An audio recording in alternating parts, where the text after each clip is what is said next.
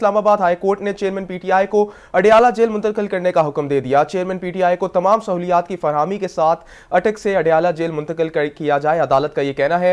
वो सबक वजी अजम है, बेहतर क्लास के हकदार हैं, चीफ जस्टिस आमिर फारूक का यह कहना था।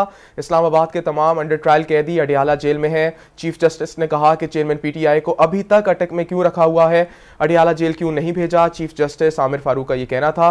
ओरिजिनल ऑर्डर तोशाखाना में अडियाला जेल में रखने का था। चीफ जस्टिस आमिर फारूक का यह कहना है कि कल आपको रहीम यार खान ट्रांसफ़र कर देते हैं तो वहाँ से ट्रायल करेंगे।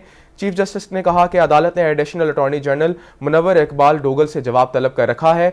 जब साइफर केस में चेयरमैन पीटीआई की गिरफ्तारी हुई तो अदालती ऑर्डर अटक जेल का है। एडिशनल अटॉर्नी जनरल का ये कहना था। तफसला जान लेते हैं नुमाइंदे कैपिटल टीवी शाहजेब मलिक से। शाहजेब मलिक, बताइएगा। जी, बिल्कुल, आज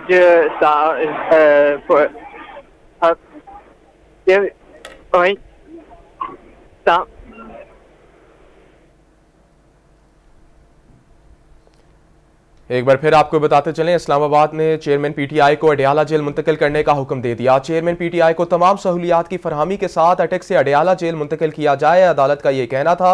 वो सबक वज़ीर आज़म है, बेहतर क्लास के हकदार हैं। चीफ जस्टिस का कहना है कि इस्लामाबाद के तमाम अंडर ट्रायल कैदी अडियाला जेल में है। तफसीत जान लेते हैं शाहजेब मलिक से। शाहजेब मलिक तफसीत से आगाह कीजिएगा। यह बिल्कुल, आज इस्लामाबाद हाई कोर्ट में चेयरमैन पीटीआई की अटक जेल में अडियाला जेल मुंतकली पर दरखास्त पर जो समात हुई। चीफ जस्टिस आमिर फरूक ने केस की समात की जिस पर चीफ जस्टिस ने इस्तफसार किया कि चेयरमैन पीटीआई की सजा का जो स्टेटस है, तब्दील हो चुका है। इस्लामाबाद के तमाम अंडर ट्रायल कैदी जो है अडियाला जेल में हैं। चेयरमैन पीटीआई अभी तक अटक क्यों नहीं गए? उन्हें अडियाला जेल मुंतकिल क्यों नहीं किया गया? ओरिजिनल ऑर्डर तोशा खाना से अडियाला जेल रखने का था। चीफ जस्टिस आमिर फारूक ने रिमार्क दिए। जिस पर अदालत ने इस्तफसार भी किया, कल अगर आप रहीम यार खान के में जेल में भेज देंगे तो क्या ट्रायल जो सा है वो वहाँ पर होगा? जिस पर एडिशनल अटर्नी जनरल ने कहा कि जब साइफर केस में चेयरमैन पीटीआई की गिरफ्तारी हुई तो अदालती आर्डर अटक जेल का है।